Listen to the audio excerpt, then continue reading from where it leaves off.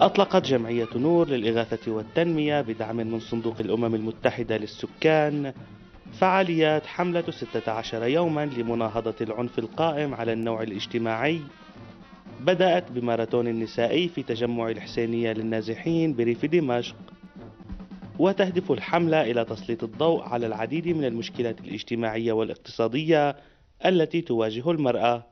هذه الفعاليات تستمر 16 يوم بعنوان رسالة جديدة. هي رسالة جديدة للمرأة اللي هي أم المجتمع. نحن مراكزنا المنتشرة في خمس محافظات سورية. آه، خلال العام بشكل يومي تقوم بأنشطة من خلال آه، دورات مهنية من خلال دورات تعليمية من خلال جلسات توعية آه، على كافة المراكز في خمس محافظات. هي المهنه اللي عم بتتم وبعدها تمكينها ضمن السوق المحلي.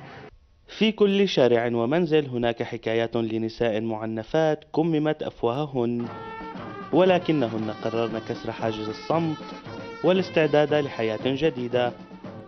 هي الرسالة التي رفعها المشاركون في حملة 16 يوما لأن المرأة مكون أساسي للمجتمعات ونهضتها.